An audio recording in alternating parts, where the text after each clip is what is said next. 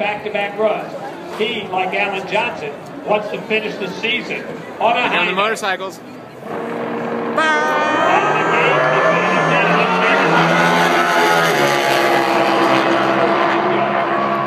Six point eight three one. One of it, ninety-seven point four two. Continues to throw out those big speeds. Sixteen point two six. Five. How is that for a motorcycle? And it will be. Anyway, what he can try to Dude, look at that thing. For Andrew Hines. Sweet. Is that a top uh, fuel? Top fuel? Nitro?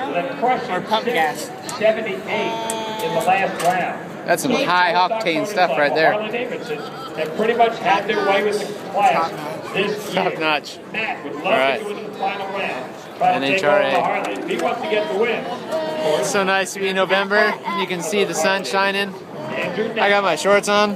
That ain't bad. Lane. Smog either. No smog. Yeah, that's a good thing. So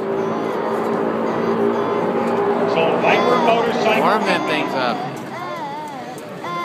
That is Comes round two of the bikes.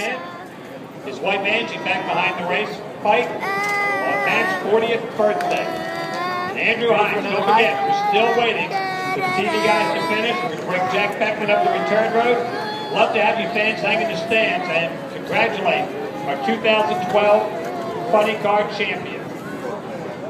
These things have almost as much uh, Uh, Eagle Harley. power to weight ratio as a speedway bike. For the Viper motorcycle folks. It's really close. These guys are good on the clutch too. They clutch it the whole way. Yeah. Oh yeah.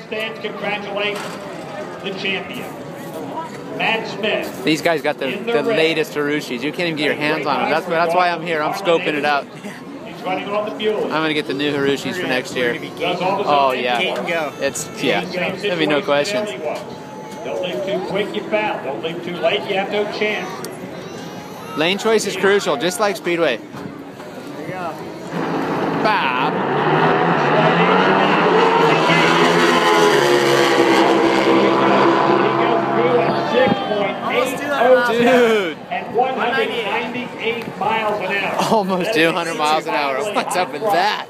11:21.